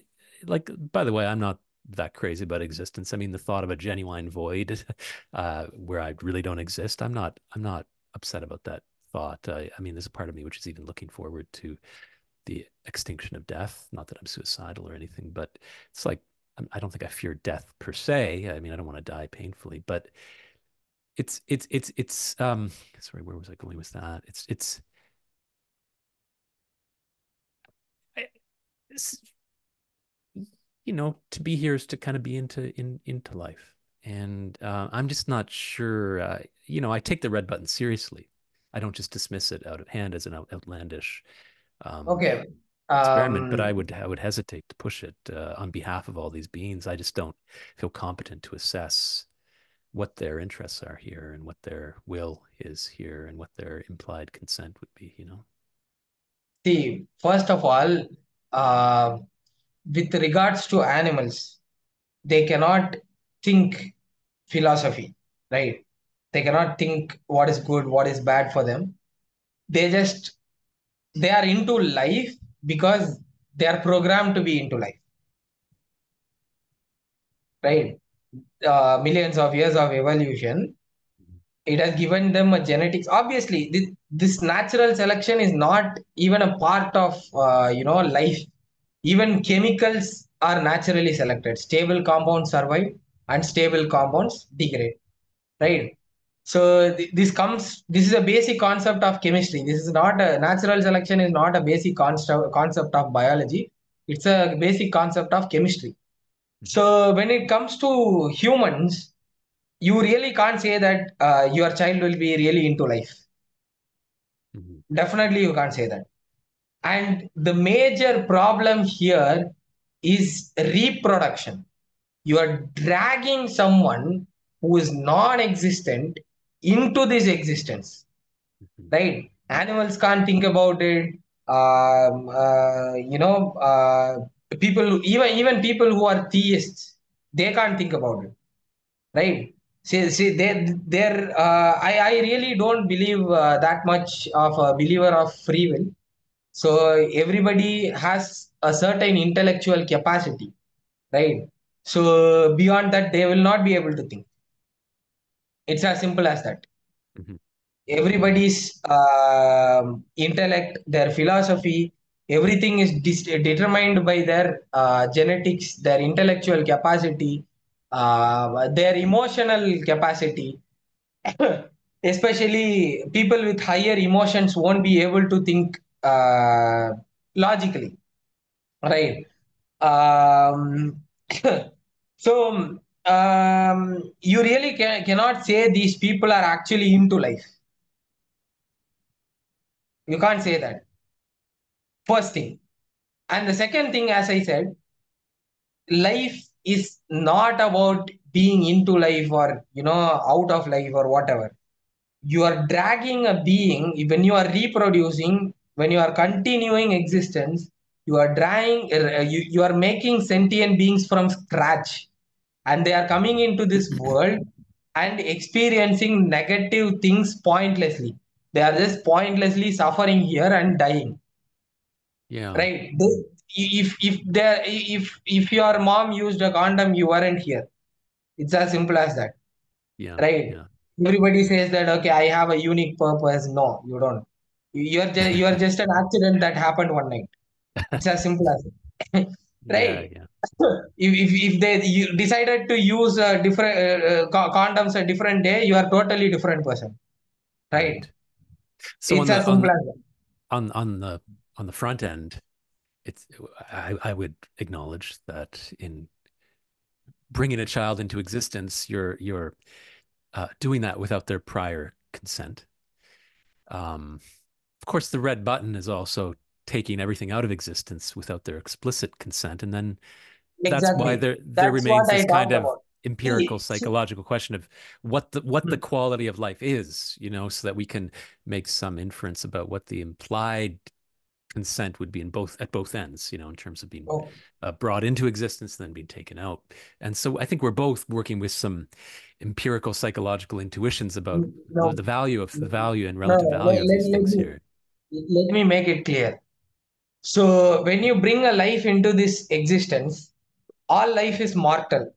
We don't have any immortal beings here i guess. Uh-huh. right all life is mortal. It's gonna die one day. And uh, uh, especially when it comes to sentient life they have a very really very short lifespan. Right? So um, um, so they are going to die anyway their consent is being violated. They suffer. They die. In between they reproduce. They birth new generation which is going to suffer and die again. In between they will reproduce. They, they are going to uh, suffer and die again. So this cycle continues. Extinction might violate consent. Yes. But it finishes that violation of consent once and for all. Aha. Aha. I that is got you. why we brought up this trolley Yeah. problem question Yeah. so i am not saying that uh, uh, I, I'll I'll never say that uh, you know violation of will to live or uh, you know uh, violation of consent is a good thing Right. the thing is that life is not so black and white right hmm sometimes you might have to cause some suffering to solve Uh-huh. some suffering so i I am coming to a consequentialist point of view here so uh, let's say that uh, just for an example let's say that you are a deontologist right? You are keeping one rule okay?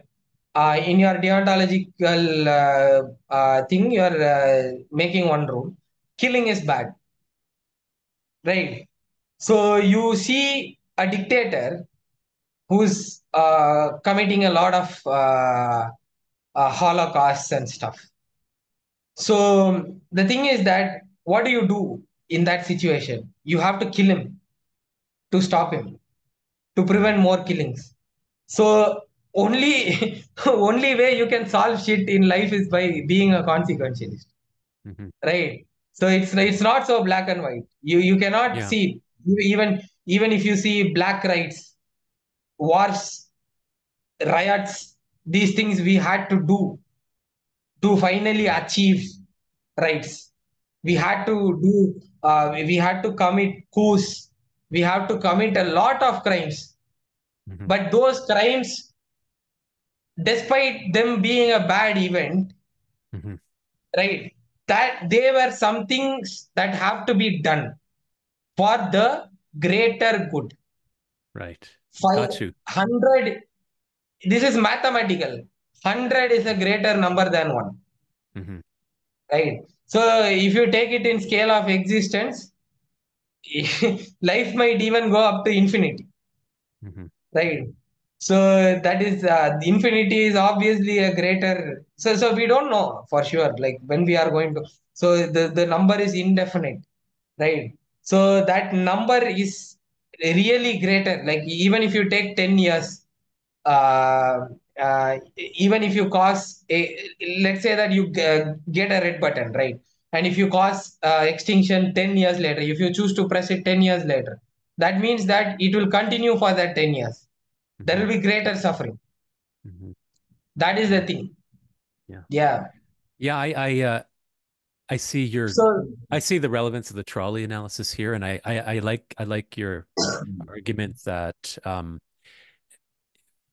either way we're violating consent, you know, by bringing a being into existence or by pressing the red button, there's a violation of consent there or acting without knowledge of consent. But yeah, I I I, I appreciate your point that the question then becomes which which involves more violation of consent. Uh, that's one of the things we we would consider, and uh, yeah, we could we could say pressing the red button is more like running as, over as pers- one person more rather than more uh, violation five. of consent more violation of consent is the thing i talked about. Um if you Yeah, if you bring saying. a Yeah. sentient being into existence they obviously don't want to die but they are going to die. And in between their lives their consent will be violated by uh, a lot of things right? They don't want to suffer. So whenever they suffer even even a tiny bit their consent is violated. And this happens in this con- co- consent violation. Even if you take consent violation not suffering consent violation as a primary thing then as well extinctionism is the only solution. Because generation after generation suffering after suffering death after death it's going to be violated. Birth after birth it's going to keep on getting violated. Whereas extinctionism ends in one thing. Because you are you are dragging a being from non-existence and you are violating its consent. here you are ending the violation of consents once and for all Yeah, yeah. I mean, it, it of course raises the question of what the status of future uh, beings is. Um, and I, I, I take it you would say they don't really have any status. You know, if they don't exist yet, we don't need to take their interests into consideration. I, I'm somewhat sympathetic with that view, but I, I'm not sure what to think about the status of future beings, and I'm open to the idea. Just, uh, just, just a sec. Let me finish. Just let me make my point here. So when you if you push a genuinely totalizing red button, like let's say it's the ultimate red button, which would never allow any kind of life anywhere in reality to come into existence again, not just local Earth red button. In some sense, which I can't eliminate, uh, it seems um, you are preventing all future beings from ever coming into existence, right?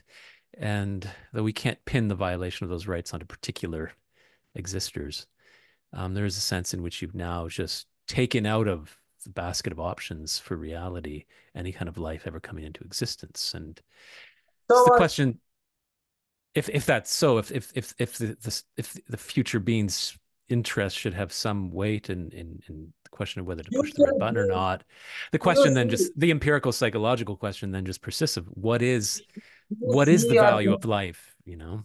Um, do, do you see yourself contradicting here? You are you are worried about the desires of future beings. Okay. Mhm, you are speaking as if future beings exist and want to come into existence in the future.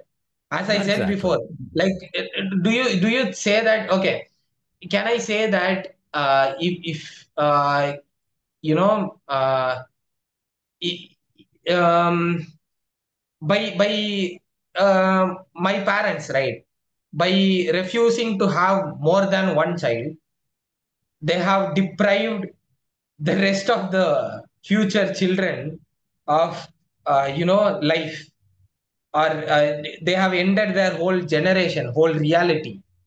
Is it a right argument? If i keep this argument then ethically everybody should reproduce up till infinity. Up there up till up until their reproductive organs uh, fail you know uh, become unhealthy. Because this, this is not a good argument at all. Because nobody i'm not crying over my sister who's uh, experiencing some suffering because i don't have a sister and i'm i don't even think twice. If, i go to uh, you know uh, a party or a festival do you keep thinking like you know if i had 10 brothers and sister 10 sisters they would have enjoyed this carnival?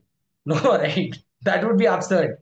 No, but if if we're utilitarian, um, then we're we're just we're interested. There's you know kind of long termism is implied by utilitarianism, I think, and so we're interested in maximizing you know total value of experiences, and so a utilitarian should ask you know before they push that red button, what experiences are they preventing from happening here? And in this to totalizing in that totalizing red button um, you're preventing some, you know, some asymptotic approach of infinity of uh, experience. If we're thinking across the whole multiverse or whatever. I mean, for the vast, practically infinite future of reality, we're just wiping out the possibility of any kind of sentience coming into existence. And so, so uh, I, yeah, I, I wouldn't talk in terms of violating the rights of these possible future beings, but as a uti- thinking from a utilitarian perspective. By the way, I, I'm not a dyed in the wool utilitarian myself either, but but thinking from a utilitarian angle, which is a useful way to think about these things, at least partly. I, I don't want to think from an utilitarian angle because negative utilitarianism, as we we have made clear through many examples uh, before in our uh, conversation, it is a fact. See, th- this is not some uh, you know debatable stuff we are talking about.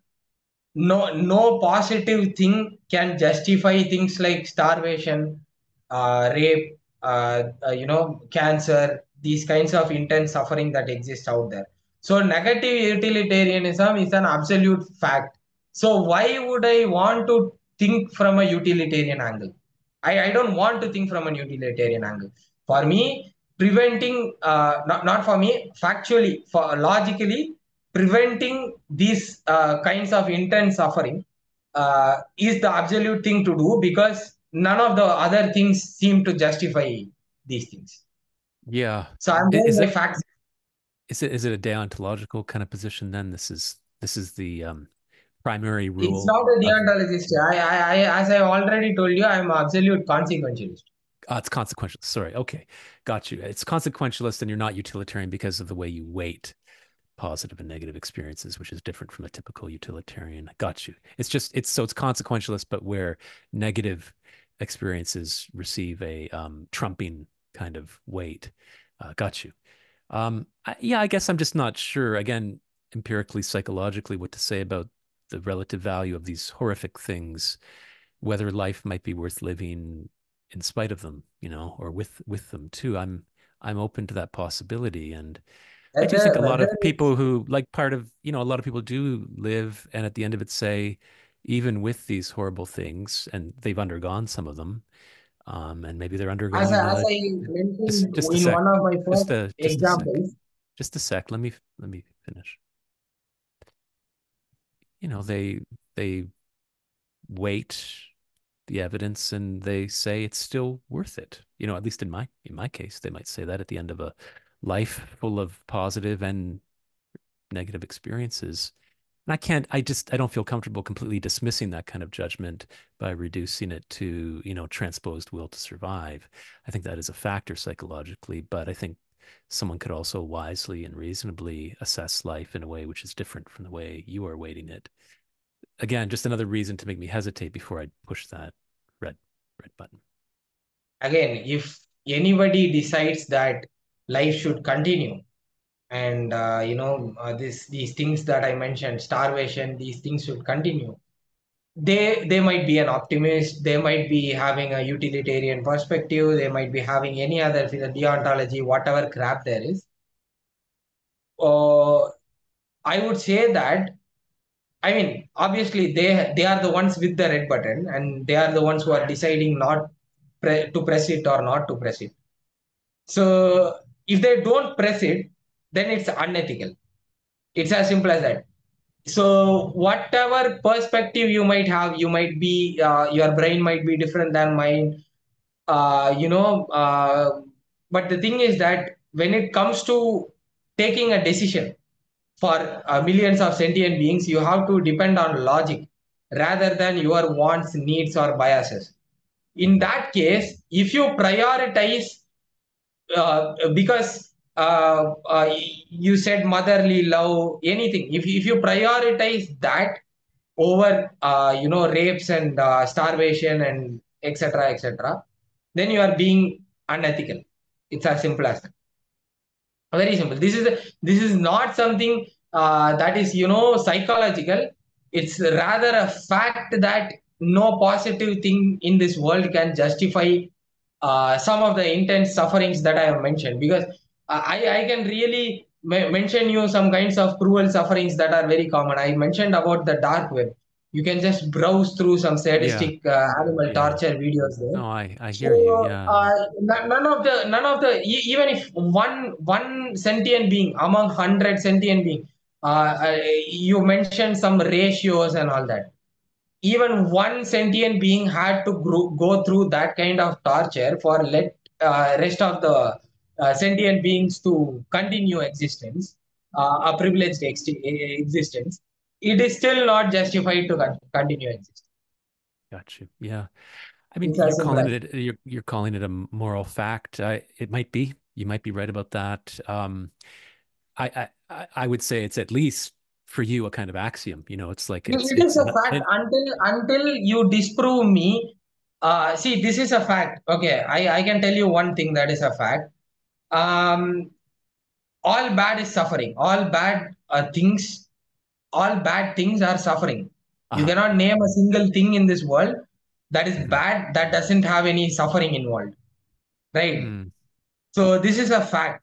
So until you name me one thing that is bad that doesn't involve any suffering or potential suffering, this fact cannot be disproven. Mm-hmm. Same way, uh, until and unless you can name me one thing that can justify rape or starvation or the intense suffering that I mentioned, mm-hmm. right? That can justify it. That will remain a fact that nothing can justify these things. Okay. So it may be or may not be is not the case. You you name me one thing. Okay. Well, yeah. Um, maybe I'll let you have the last word there. I mean, um, yeah. yeah. we're. Uh, um, I think we have you have a strong intuition about that, and as I said, you might be right, but I'm just not. not Again, sure. not an intuition. If you had to break facts, you have to give me something, some reasoning, some example, something that can break that fact. So if you if you have to uh, disprove, uh, you know, uh, something mm-hmm. like uh, Einstein's relativity, you have to give something that is against some evidence. You have to pro- produce a scientific evidence. You have to produce a factual evidence against it. So these facts, well, I, I can until you disprove them, this will remain a fact. Well, I, I think you are assuming you're you're assuming the burden of proof is on the other side here, and that's obviously that's the burden of which... proof. Obviously, the burden of proof is on the other side because I am making a claim that okay, nothing can justify these things. So you have to because uh, you have to prove me one thing because there there are millions of things in this world right so I, I am saying none of them justify these sufferings none of them so you prove me in the in those millions of things you prove me one positive thing that can justify uh, you you take and disprove me you take that example and disprove. No, That you're right. how That you that disprove you're right. That would be the way to disprove your claim. But my que- my point about burden of proof is just that. I mean, I, I one could say no. The burden of proof is on you to show with mathematical certainty that your axiom is correct. I have Um, already given you mathematical certainty. I have already named you. See, uh, whatever pleasures are there in this world, okay, uh, you can name anything. I have I've given you the freedom also, right? So I I uh, if I start naming, probably four hours won't be enough. I don't have to name it also. So I have I have kept that claim. It may be anime, it may be sex, it may be love, it may be anything. It Mhm. cannot justify the intense suffering that I have listed. So if if you have uh, another uh, thing that I have not considered, then you can give me, right? Otherwise, you accept that it's a fact. You don't know well, you're not. anything You're not. that is that can You're not. justify this. But you're not just making the empirical claim that the bad things outweigh, you know, in a standard utilitarian way, the good things. You're making a claim that the bad things should trump, you know, the, the good things. That bad things have a special weight. That's why you're not a utilitarian. And again, you might be right about that. I just, I just, I'm not totally convinced by that claim. Um, and You can think about then it. Just just a sec. Then there's the meta question of where the burden of proof here is. Your principle is plausible, you know, and and the examples you give are horrifying and vivid and uh, compelling. But we're talking about the philosophical, uh, axiological claim about how to weight suffering. That's something that needs maybe argument, and I'm not I'm not sure the burden of proof is on someone who wants to disprove that. It might be, but there's there's so there's the empirical question of how to how these things actually compare in in life, and then there's the uh, meta meta question of how where the burden of proof lies in regards to this principle. But I see your principle, and I feel it's quite compelling, and uh, you know I'm happy to end it end it there. Obviously, um, you're quite confident about some of these things, and I am sympathetic with some of your perspective for sure. I'm just maybe not quite as confident about it, and that's why I would probably hesitate a lot more than you before I'd push Yeah. that before I push that button. But I feel the I feel the I feel the pull of that button for sure. And um, yeah, it's been really uh, really good to talk to you, Steve. Um, um, Yeah. it's nice nice to talk to someone who's who's got that background in animal welfare and compassion and uh, activism, but has maybe a, a perspective a little bit different from what you might typically find at uh, you know on a Facebook vegan page or, or or whatever. So it was really really valuable uh, to talk to someone who- who's got that different perspective and is also philosophically articulate and informed. So um, I hope this conversation was was good for you too. And Yeah. uh, we're never going to wrap it all up and resolve it all. You know, this is life; it's full of strife, including dialogic strife. So it never never resolves until until that red button is pushed. So, uh, but uh, I, I wish you the best, and um, maybe maybe I'll stop recording now, and then we can uh, just wrap it up. Yeah. Yeah. Um,